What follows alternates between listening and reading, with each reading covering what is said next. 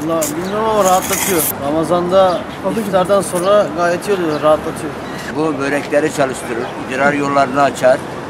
Ondan sonra bu böreklerdeki kumları döker. Bu ta Osmanlı zamandan kalan bir şerbeti. Yaşatmak istiyoruz. Bütün yani şeylerimiz de buna biraz destek olsun. Katıyoruz. Başkanımız da Allah razı olsun. Var, 3-4 kişi var da bu kıyafette olan yok. Akşama buz yemi buz.